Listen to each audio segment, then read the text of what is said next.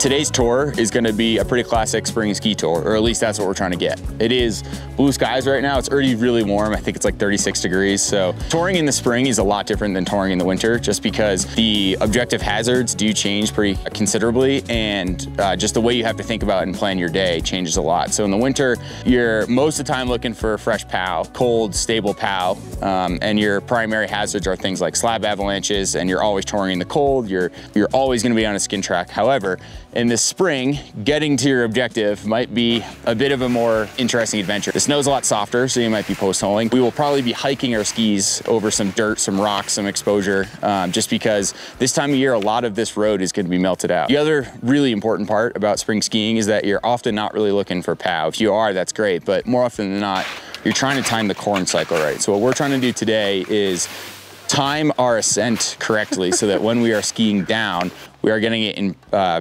primo corn conditions, but it's not too wet and soft that wet avalanches become a problem. So there is this sort of awkward, delicate balance of spring skiing that makes it really hard to time the day. Um, we are here a bit early, so we may be waiting on the summit for a little bit, waiting for it to soften up. But, you know, I think we will probably, like most spring tours, be dealing with this, a situation in which we're skiing down, we get some really good corn, and then the bottom run out is going to be muddy, shitty, wet. Just it's going to be sort of a sloggy run out. Um, that's what happens when you when you tour in the spring. I mean, it's June and we're skiing, so can't really complain.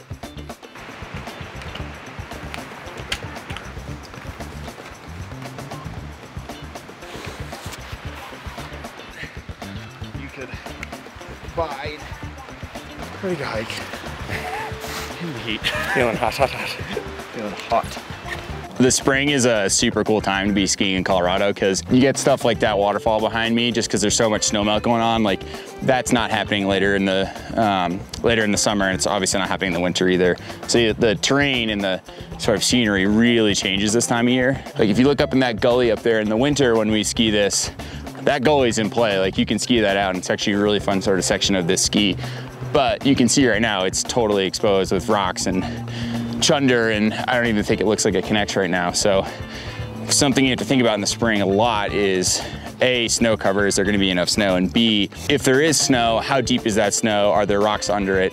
Just because rocks are a big concern this time of year, both under the snow and falling on top of you.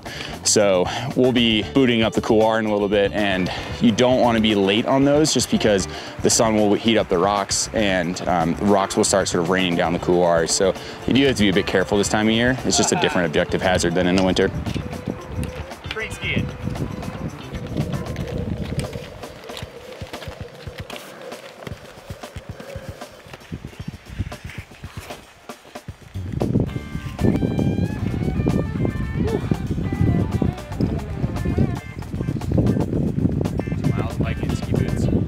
We made it to the bottom of the couloirs. It took us a lot longer than we thought. We had to transition 10 to 15 times going over streams, mud, rocks, scrambling.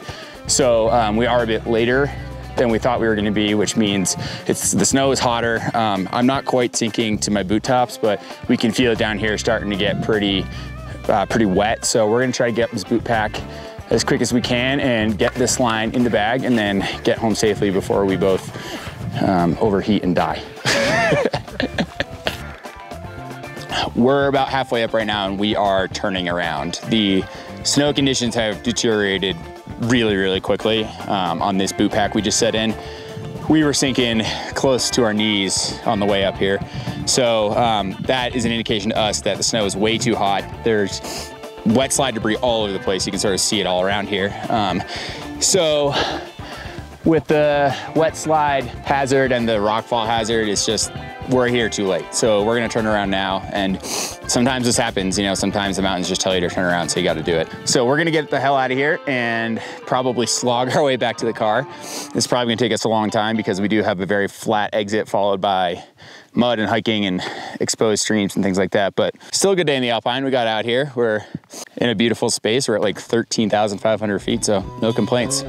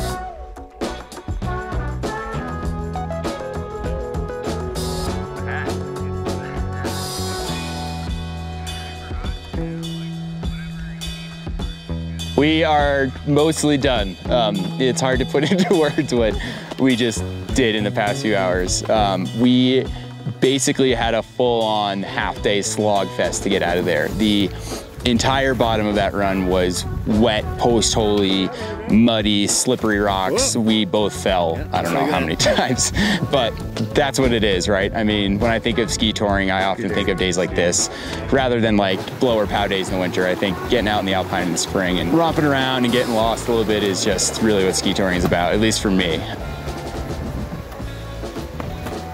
Based on the day that we just had, I think this is probably the last ski day we're gonna have for the year. So um, I would probably consider this the end of the season for this year. So we would like to come out with some spring content as well as some content for next winter. So if you guys have any ideas, um, feel free to shoot me an email, leave in the comments, whatever. We would really appreciate sort of hearing from you guys and what you want to see just because that is why we're doing this uh, whole series. So, you know, it's fun for us, but it's really fun for us to get to show it to you and show you what our lives are like here in Colorado. So um, feel free to shoot us a message.